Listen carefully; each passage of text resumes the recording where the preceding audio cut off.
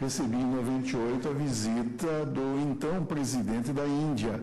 Ele também um intocável, ele também integrante das castas, embora a Constituição da Índia de 47 48 proíba essa divisão social em castas, no entanto, a prática social, lamentavelmente, continuou a reconhecer essa situação de absoluta vulnerabilidade de certos grupos. Mas, de qualquer maneira, ainda deu, é, de, é, avançou de modo muito expressivo nesse âmbito, e eu até, se Excelência me permitir, permitir eu também acrescentaria ao nome de, de, de, de Mahatma Gandhi o nome de Nehru, que viria a ser o primeiro primeiro-ministro do novo Estado soberano e que também foi responsável pela formulação, junto com o partido do Congresso, que dominava o parlamento indiano, responsável pela formulação e implementação de políticas de caráter positivo, de natureza afirmativa, de índole compensatória, precisamente em vista esses parâmetros que Vossa Excelência acaba de mencionar. Pois não, eu agradeço a valiosa contribuição de Vossa Excelência. Então, é, lembro por, por, por oportuno, já retomando o meu voto, que o Supremo Tribunal Federal, em diversas oportunidades, admitiu a constitucionalidade das políticas de ação afirmativa. Entre os vários precedentes, menciono a medida cautelar na ADI 1276 de São Paulo, sendo relator o eminente ministro Otávio Galotti, a ADI 1276 de São Paulo, sendo relator a eminente ministra Ellen Grace, o recurso de mandado de segurança 26071, sendo relator eminente presidente, agora, ministro Aires Brito, a de 1946 do Distrito Federal, sendo relator eminente ex-presidente, ministro Sidney Sanches, e a medida cautelar na DI 1946 do mesmo relator.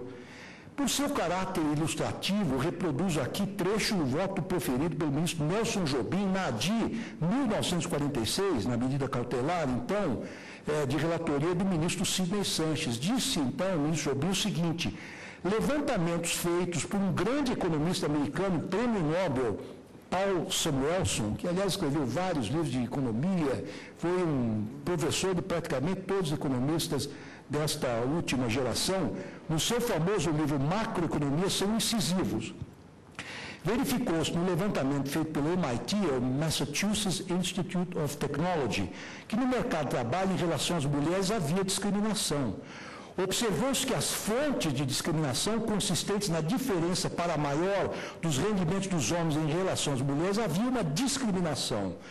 Observou-se que as fontes de discriminação consistentes na diferença para maior dos rendimentos dos homens em relação às mulheres têm razões complexas, dizia então o ministro Nelson Jobim, hábitos sociais, expectativas, fatores econômicos, educação, formação e experiência profissional. Mas registrou-se outros fatos. As mulheres tendem a interromper suas carreiras para terem filhos, o que provoca essa situação específica. E, em face disso, são discriminadas. Ou não se emprega a mulher para se empregar homens, ou ao empregar a mulher, paga-se um salário aquém do salário médio para o homem.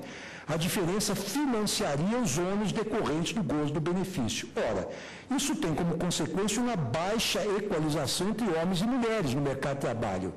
Nos Estados Unidos da América, com o governo Johnson, iniciou-se um processo curioso de discriminação positiva que recebeu a denominação, em subaspas, de ricos ônus johnsonianos. Começou com o problema racial do negro americano, estabeleceram-se as cotas, eram as affirmative actions. Para essa questão feminina havia as leis de referência, o Civil Rights Act de 1964, o Equal Pay Act de 1963. Todo um conjunto de regras ajudou a desmantelar nos Estados Unidos as práticas discriminatórias mais evidentes. E continua o voto é, do ministro é, Jobim, é, do qual destaco o último trecho que me parece interessante. Dizia então Sua Excelência, a discriminação positiva introduz tratamento desigual para produzir no futuro em concreto a igualdade é constitucionalmente legítima, porque se constitui instrumento para obter a igualdade real. Examinado o conceito de ação afirmativa e depois de revisitados os presidentes da Corte sobre o tema, passo a seguir ao exame das demais questões suscitadas nestes autos. Então, agora examino eh, os critérios para ingresso no ensino superior que foram discutidos na DPF também na tribuna. A Constituição Federal preceitua, em seu artigo 206, 1, 3 e 4, que o acesso ao ensino será ministrado com base nos seguintes princípios: igualdade de condições para o acesso e permanência na escola, pluralismo de ideias e gestão democrática do ensino público. Registro, por outro lado, que a Carta Magna, em seu artigo 208, 5, consigna que o acesso aos níveis mais elevados do ensino, da pesquisa e da criação artística será efetivado segundo a capacidade de cada um.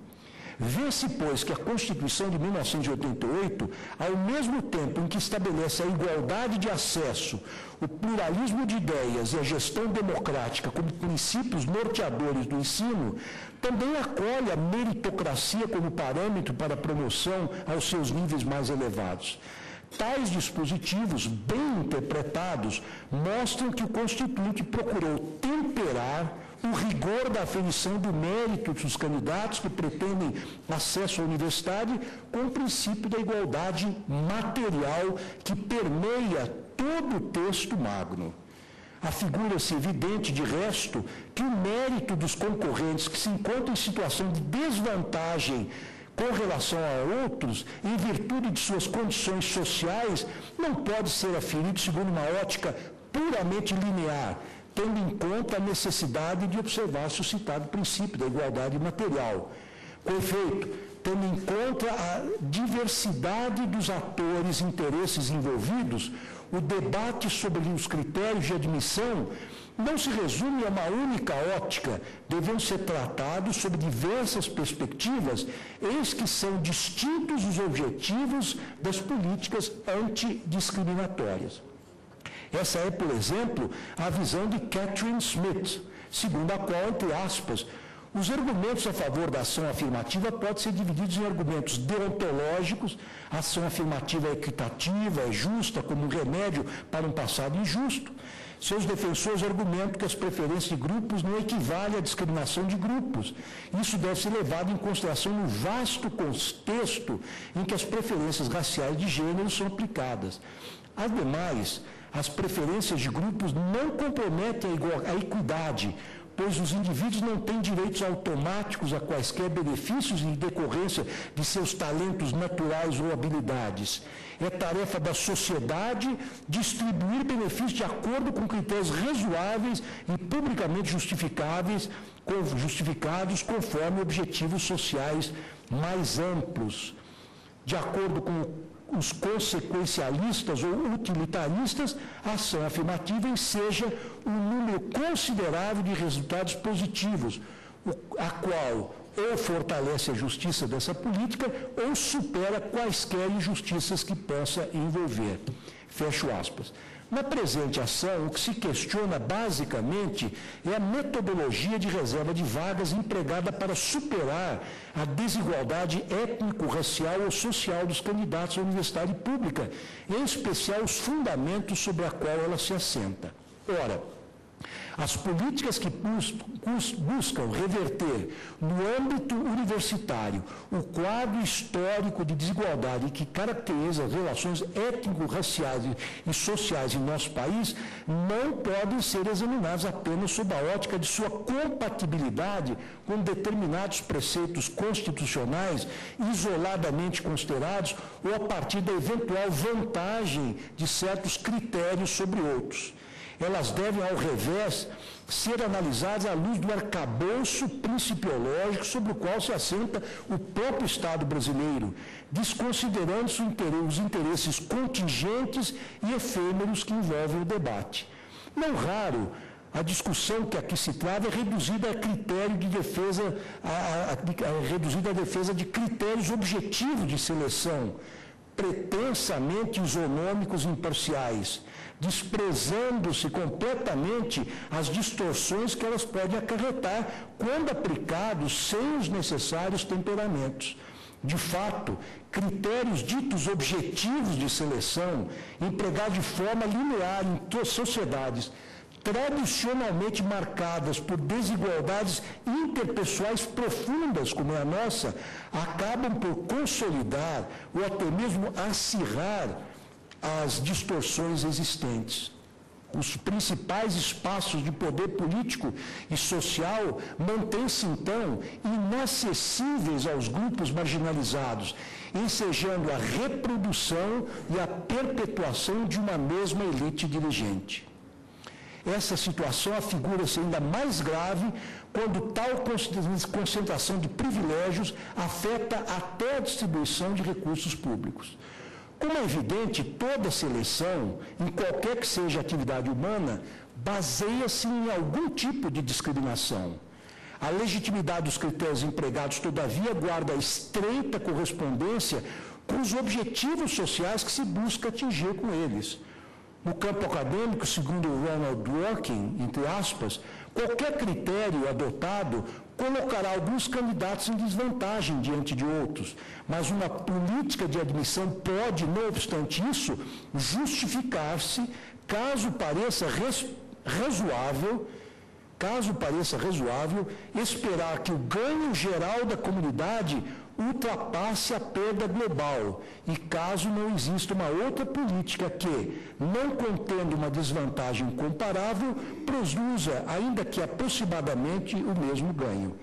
Então, é que o importante jurista e filósofo, justo filósofo norte-americano, Ronald Bloch, diz que sempre há alguma perda, mas o que é importante é ver nesses critérios é, de seleção alternativos o ganho social para a sociedade como um todo. O critério de acesso às universidades públicas entre nós deve levar em conta, antes de tudo, os objetivos gerais buscados pelo Estado Democrático de Direito, consistente, segundo o preâmbulo da Constituição de 1988, em, entre aspas, assegurar o, o exercício dos direitos sociais individuais, a liberdade, a segurança, o bem-estar, o desenvolvimento, a igualdade e a justiça como valores supremos de uma sociedade fraterna, pluralista e sem preconceitos fundados na harmonia social. Deve, ademais do particular, levar em conta os postulados constitucionais que norteiam o ensino público.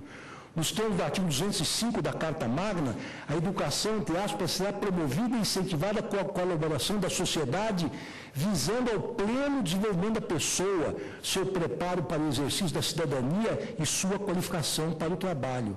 Já o artigo 207 garante às universidades, entre outras prerrogativas funcionais, a autonomia didático, científica e administrativa, fazendo-as repousar ainda sobre o tripé ensino, pesquisa e extensão. Portanto, trazendo, no que tange a extensão, a sociedade para dentro da universidade. Com esses dispositivos, pretendeu o legislador constituinte assentar que o escopo das instituições de ensino vai muito além da mera transmissão e produção do conhecimento em benefício de alguns poucos que logram transpor os seus umbrais, por partirem de pontos de largada social ou economicamente privilegiados. De fato, como assenta Oscar Vilhena Vieira, notável professor da Pontifícia Universidade Católica e constitucionalista de escola, o seguinte, os resultados do vestibular, entre aspas, ainda que involuntários, são discriminatórios, na medida em que favorecem enormemente o ingresso de alunos brancos, oriundos de escolas privadas, em detrimento de alunos negros provenientes das escolas públicas. Essa exclusão, especialmente no que diz respeito aos cursos mais competitivos, faz com que a universidade se torne de fato um ambiente segregado. Isso gera três problemas distintos. Em primeiro lugar, viola o direito dos membros dos grupos menos favorecidos de, de se beneficiar do bem público da educação, em igualdade de condições com aqueles que tiveram melhor fortuna durante seus anos de formação. Esta universidade predominantemente branca, em segundo lugar, falha na sua missão de constituir um ambiente passível de favorecer a cidadania, a dignidade humana, a construção de uma sociedade livre e justa. Uma universidade que não integra todos os grupos sociais, dificilmente produzirá um conhecimento que atenda aos excluídos, reforçando apenas, apenas as hierarquias e as desigualdades que têm marcado a nossa sociedade desde o início da nossa história.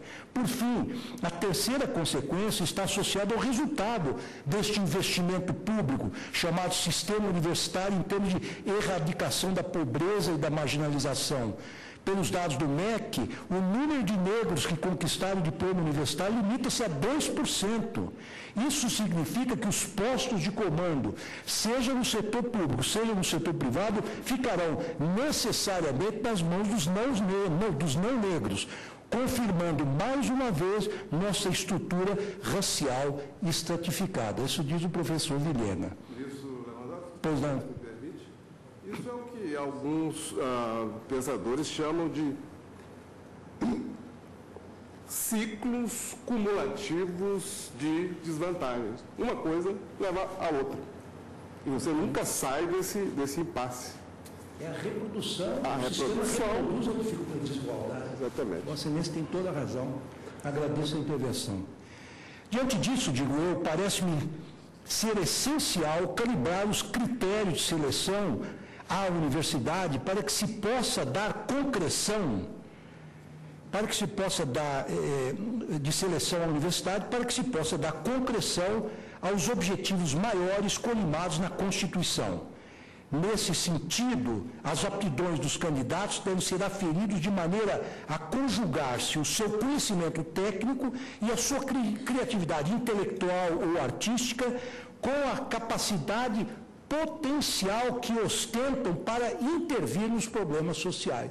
Eu preciso fazer um balanço entre esses vários valores, porque aqueles que hoje são discriminados têm um potencial enorme para contribuir eh, no sentido de que a nossa sociedade avance eh, culturalmente, socialmente, nos termos de uma harmonia social eh, mais avançada. Essa metodologia de seleção diferenciada pode perfeitamente levar em consideração critérios étnicos, étnico-raciais ou socioeconômicos.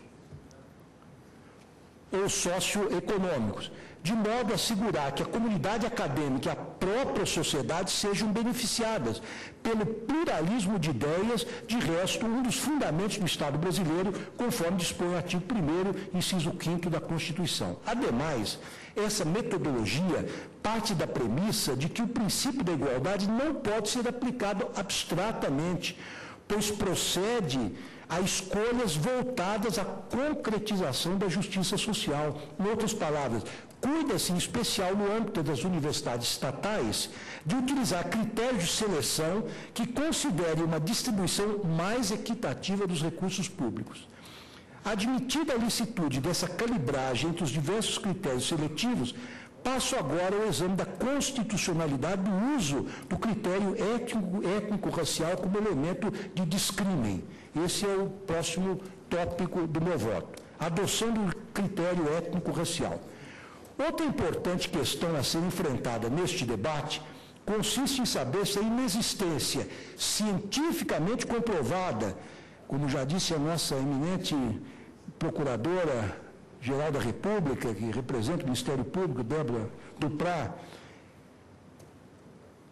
é, consiste em saber, então, outra importante questão, se a inexistência cientificamente comprovada do conceito biológico ou genético de raça no concernente à espécie humana impede a utilização do critério étnico-racial para fins de qualquer espécie de seleção de pessoas. Eu relembro que o Supremo Tribunal Federal enfrentou essa questão no HC 82.424, numa questão de ordem, e que foi relator o ministro Maurício Correia, e esse feito proveio do Rio Grande do Sul, conhecido como caso Elvanger. Em setembro, em setembro de 2003, o plenário eh, desta Suprema Corte confirmou por maioria de votos a condenação de Siegfried Elvanger, autor de livros de conteúdo antissemita pelo crime de racismo. Nesse precedente, o STF debateu o significado jurídico do termo racismo, abrigado no artigo 5 inciso 62 da Constituição, de acordo com o relator do feito, o ministro Maurício Correia, embora hoje não se reconheça mais sob o prisma científico qualquer subdivisão da raça humana, o racismo persiste enquanto fenômeno social, o que quer dizer que a existência das diversas raças decorre da mera concepção histórica, política e social, e é ela que deve ser considerada na aplicação do direito. Essa também foi a conclusão do ministro Gilmar Mendes, que assim se pronunciou. Parece ser pacífico hoje o um entendimento, segundo o qual a concepção a respeito da existência de raças assentava-se em reflexões pseudocientíficas, exceto, por outro lado, que historicamente o racismo prescindiu até mesmo aquele conceito pseudocientífico para estabelecer as suas bases, desenvolvendo uma ideologia lastreada em critérios outros. Tal ideia foi desenvolvida em sede acadêmica por Antônio Manuel Espanha, da seguinte maneira: a questão étnica, entre aspas, apresenta analogias muito fortes com a questão de gênero. Em ambos os casos, o argumento relativa, eh, relativamente ao direito ocidental é o mesmo. Ele está pensado por brancos, fundados na sua cultura na sua visão de mundo, na sua racionalidade, na sua sensibilidade, nos seus ritmos de trabalho, nos seus mapas de espaço, nos seus conceitos de ordem, de belo, de apropriado, etc. E prosseguindo, e prosseguindo, perseguindo, portanto, seus interesses. Quer dizer, uma concepção cultural do direito próprio de uma certa categoria social, dos, do, da concepção essa da qual ainda somos tributários. Continua, então, esse professor, conceitos jurídicos formados na tradição cultural e jurídica ocidental foram exportados como se fossem categorias universais e aplicados a povos a que eles eram completamente estranhos, desagregando as suas instituições e modos de vida e aplicando-lhes modelos de convívio jurídico e político do Ocidente. Isso não teria a ver apenas com as diferenças culturais originais, mas também com a conformação da mentalidade ocidental e nativa por séculos de experiência colonial europeia. Esta teria começado por construir os conceitos de raça, como a história prova que aconteceu, e depois teria habituado a cultura ocidental a relações desiguais com outras culturas, consideradas como culturas inferiores, sujeitas à tutela educadora dos europeus. Fecho aspas. Cumpre afastar, então, para os fins dessa discussão, o conceito biológico de raça, para enfrentar a discriminação social baseada nesse critério, porquanto se trata de um conceito histórico-cultural artificialmente construído para justificar a discriminação ou até mesmo a dominação exercida por alguns indivíduos sobre certos grupos sociais maliciosamente reputados inferiores. Ora, tal como os constituintes de 1988 qualificaram de inafiançável o crime de racismo, o escopo de impedir a discriminação negativa de determinados grupos de pessoas, partindo do conceito de raça, não como fato biológico, mas enquanto categoria histórico-social, assim também é possível empregar a mesma lógica para autorizar a utilização pelo Estado da discriminação positiva com vistas a estimular a inclusão social de grupos tradicionalmente excluídos. É o que afirma a já citada Daniela Ikawa, entre aspas. O uso do termo raça é justificável nas políticas afirmativas por ser o mesmo instrumento de categorização utilizada para a construção de hierarquias morais convencionais não condizentes com o conceito de ser humano dotado de valor intrínseco ou com o princípio de igualdade e de respeito. Se a raça fosse utilizada para construir se a raça foi utilizada para construir hierarquias, deverá também ser utilizada para desconstruí-las. Trata-se de um processo de três diferentes fases. Um, a construção histórica de hierarquias convencionais que inferiorizaram o indivíduo quanto aos status econômicos e de seu reconhecimento pela mera pertença a determinada raça. Dois, a reestruturação dessas hierarquias com base em políticas afirmativas que consideram a raça, voltando-se agora à consolidação do princípio da dignidade. E três, a descaracterização do conceito de raça como critério de inferiorização e estabelecimento de políticas universalistas materiais apenas. Muito interessante essa observação, se me permitem é, tentar traduzi-la de modo mais simplificado. No primeiro momento, utiliza-se o conceito de raça para se criar uma hierarquia social absolutamente artificial. Mas no segundo momento deve-se utilizar esse mesmo critério de raça utilizado para criar essas hierarquias artificiais para desconstruí-las. Para no terceiro momento acabar definitivamente com esta ideia de raça que ela absolutamente não corresponde a qualquer critério científico, ela é apenas um fóssil histórico que deve ser relegado, quiçá, aos museus, se tanto. Trato agora do mais um tópico do meu voto que diz respeito à consciência étnico-racial como fator de exclusão. Tudo isso é tratado do voto, por isso é que eu estou abordando ponto por ponto. Outro aspecto da questão consiste em que os programas de ação afirmativa tomam como ponto de partida a consciência de raça existente nas sociedades com o escopo final de eliminá-la. Em outras palavras, a finalidade última desses programas é colocar um fim àquilo que foi seu termo inicial, ou seja, o sentimento subjetivo de pertencer a determinada raça ou de se, ou de se sentir discriminado por integrá-la. Para as sociedades contemporâneas que passaram pela experiência da escravidão, repressão e preconceito, ensejadora de uma percepção depreciativa de raça com relação aos grupos tradicionalmente subjugados, a garantia jurídica de uma igualdade meramente formal sublima as diferenças entre as pessoas, contribuindo para perpetuar as desigualdades de fato existentes entre elas.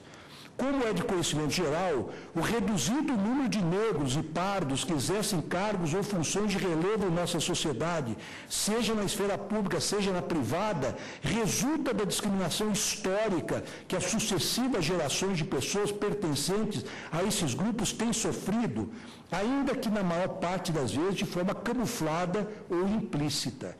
Os programas de ação afirmativa em sociedades em que isso ocorre, entre as quais a nossa, são uma forma de compensar essa discriminação culturalmente arraigada, não raro praticada de forma inconsciente e à sombra de um Estado complacente. A necessidade de superar essa atitude de abstenção estatal foi enfatizada pelo ministro Marco Aurélio em sede doutrinária da forma abaixo. Entre aspas, disse o nosso ministro. Pode-se afirmar sem receio de equívoco que se passou de uma igualização estática, meramente negativa, no que se proíbe a discriminação, para uma igualização eficaz, dinâmica, já que os verbos construir, garantir, erradicar e promover implicam em si mudança de ótica ao denotar ação. Não basta não discriminar, é preciso viabilizar e encontrar na carta, como página virada, o sistema simplesmente principiológico. A postura deve ser, acima de tudo, afirmativa.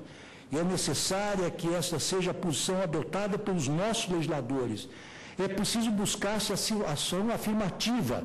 A neutralidade estatal mostrou-se nesses anos um grande fracasso. É necessário fomentar seu acesso à educação. Deve-se reafirmar toda e qualquer lei que tenha por objetivo a concretude da Constituição Federal não pode ser acusada de inconstitucionalidade.